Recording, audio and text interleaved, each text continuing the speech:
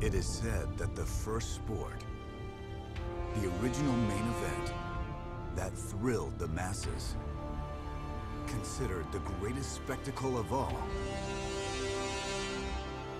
was the fight.